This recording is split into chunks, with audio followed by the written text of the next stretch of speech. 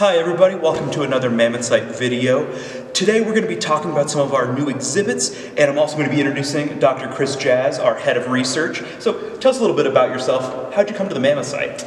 Uh, well, I have a long history with the Mammoth Site actually. I started uh, my affiliation with the Mammoth Site back in 1991 as a natural history interpreter and ended up going and working with Larry Agenbroad and Jim Mead on a master's degree. Uh, went, uh, did a PhD at the University of Texas at Austin, and I've been working as the curator of Ice Age paleontology at the Royal Alberta Museum for the last 16 years. Uh, Jim Mead recently retired, and here I am. Awesome. So as part of your role as our head of research, you kind of you know oversee a lot of our research projects, participate in a lot of our research projects, and one of the ones you're working on is our cave research. Now, why does the MEM Site have a cave exhibit? Why do we do cave research here? Uh, cave research is really important because it tends to house really good records of small animals.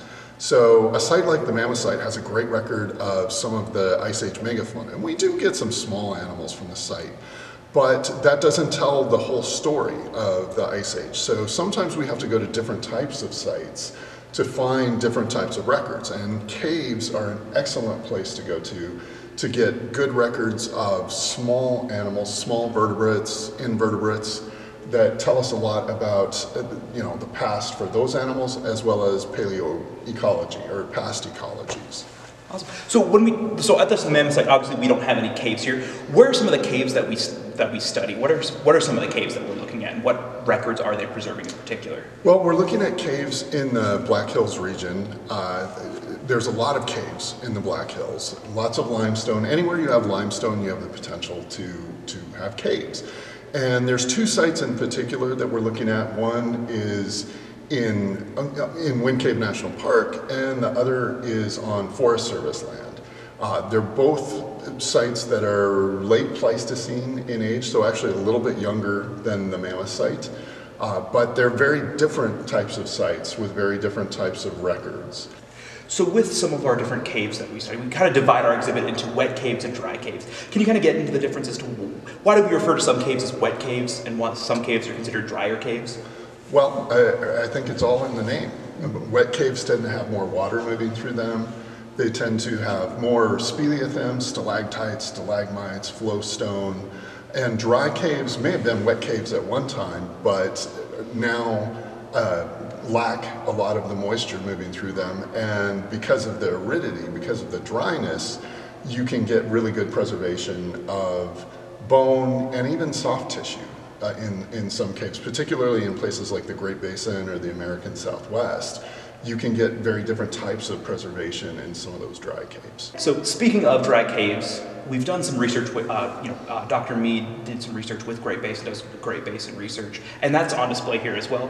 What are some of the fossils that they're finding in those Great Basin caves? Uh, in Great Basin caves, we're finding things like uh, giant ground sloths. Uh, you find a lot of the a lot of the same animals that you find uh, in, in wet caves, things like horses, uh, lots of small mammals, uh, birds, uh, lizards, I, I would say in, in some of those caves in the southwest, we certainly have more, more lizards and uh, reptiles than we get in maybe some of the caves here, although even in the caves here, we get some of those animals. We just don't get quite the same diversity. So it, uh, in general, caves represent things that are living in local environments. So uh, we're getting records of Ice Age megafauna that were living in the Great Basin, in those Great Basin caves, and we're getting records of Ice Age faunas that were living in the Black Hills, in the caves that we studied in the Black Hills. Awesome. And as part of the, the display, we, I noticed we have a lot of different dung specimens,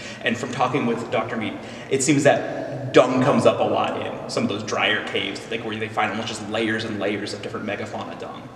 And, and with that, what is that preserves extra plants and things as well, right? Absolutely. So, yeah, Jim has a long history of working with dung in, in caves in the American Southwest.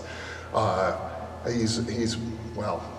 I, I won't. I won't. I, I won't use the word that I want to use, but he's been he's been working with dung for a long time, And yeah, those are those are amazing records because you can break that dung down, you can reconstruct diet, you can identify plant remains that are preserved in that dung, you can look at pollen that's preserved in that dung. They're amazing records that not only tell us about past ecology, but actually give us direct evidence about what those extinct, some of those extinct animals were, were eating, what, what was their diet. Awesome. And with with looking at the, all that kind of stuff, you know, dry caves being, you know, mostly, you know, thinking of the caves we're looking at are in the Great Basin. The ones we're looking at here in the Black Hills are more considered accurately considered wet caves, correct? I would say yes. The the caves here tend to tend to at least have some speleothem growth in them. There tends to be a, a, a bit of moisture in them. Uh, definitely not as dry as some of the caves that, that, that Jim and myself have worked in in the, the Great Basin or the American Southwest. And so, with the caves that we're working on here in, in the Black Hills, can you get into any of like the kind of the specifics of some of the you know, research that's going on with those? Uh, absolutely. So one of the one of the sites that we're working on right now has an amazing continuous record from roughly 3,000 years ago and we're back to around 12,000 years ago. Uh, a lot of times in caves, the deposits that we find tend to be mixed because there's a lot of animals that are utilizing those caves and going in and out of those caves. So a lot of times the deposits that we find in caves are mixed. Uh, this particular site that we're working on in the Black Hills actually has, in part of the cave, a fairly continuous stratigraphic record that right now represents eight, nine, 10,000 years of geologic time. And we think it probably extends back another 10,000 years. So it's a, it's a really unique record in that sense that is going to allow us to look at how life in the Black Hills has changed through a continuous 10 to 20,000 year sequence. Awesome. And so with that, it differs you mentioned that it's, it's a unique deposit, and like you know, instead of just being kind of like a snapshot, we have that continuous record. With that, how else does cave paleontology differ from like you know, say paleontology done at the Mammoth site? What I guess you know, do we need different tools? You know, how, what is it, what does the day in the, the life of a caving paleontologist look like versus one that's doing excavation in like you know, you know, a more traditional environment? Uh, it really depends on the the type of cave. Some caves in the Southwest you can walk up to and walk in Many of the caves that we're, we're working in in the Black Hills are a little more complex because there's either tight crawls or in, in one case there's a very vertical component to it. So you actually have to have harnesses and, and vertical gear that allows you to get safely in and out of those cave deposits, which is very different than just walking up to an outcrop and excavating there's a little more logistical planning that, that needs to go into some of the work that we do in cave deposits. Awesome. And with that, I assume with especially caves that, you know, you know, there's still animals actively living in there, and cave ecosystems can be pretty uh, sensitive. Do you have to kind of be aware of how your, your excavation is going to potentially impact those environments? Absolutely. So there are certain times a year where we won't go into caves because there are bat populations present. Uh, there are uh, other caves that are hibernacula for snakes. So just for safety reasons, you may not want to go in there certain times of the year. But absolutely, that's something we're very conscious of. I mean, caves are very sensitive environments, and as researchers who work in caves, we do our very best to minimize any impacts, not only to the cave, but also to the, the animals that call those caves home. Awesome. And to kind of like summarize and kind of wrap it up, what would you say is the coolest part about studying caves in a paleontological concept, context? Sorry.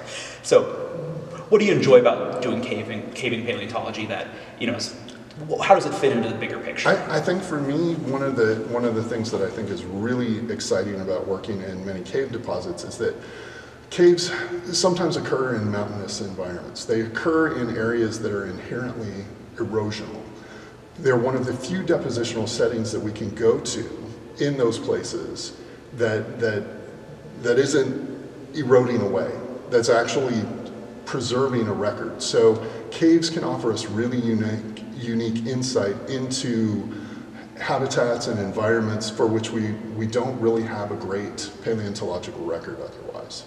Awesome with that, the last thing I want to do is just encourage you guys to, you know, if you're when you're in the area, visit the site, visit our cave exhibit, take a look around, and feel free to ask us any questions. And with that, we will see you next time.